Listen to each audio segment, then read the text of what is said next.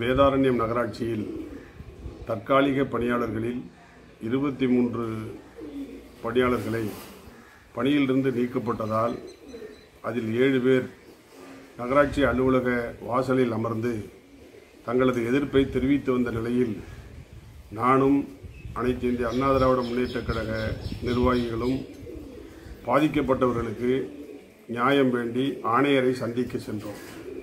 நகராட்சி வாசலில் ஆர்ப்பாட்டம் செய்தவர்கள் செய்தவர்களுடைய அருகில் பத்திரிகை தொலைக்காட்சி நிருபர்களும் இருந்தார்கள்.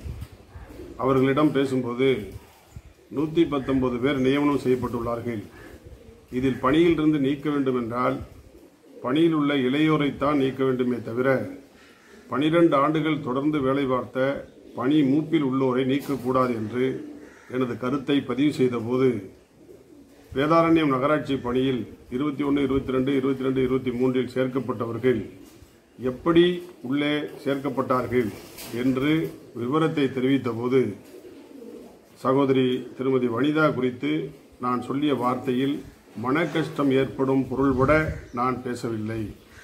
மனக்கஷ்டம் ஏற்படுத்தியதாக சகோதரியோ அல்லது அவரது குடும்பத்தாரோ கருதுவார்கள் என்றால் அந்த குறிப்பிட்ட வார்த்தையை நான் வாபஸ் பெறுகிறேன்.